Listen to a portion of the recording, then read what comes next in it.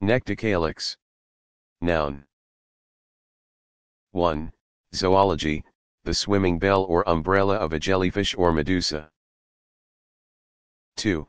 Zoology, one of the zooids of certain siphonophorae, having somewhat the form, and the essential structure, of the bell of a jellyfish, and acting as a swimming organ.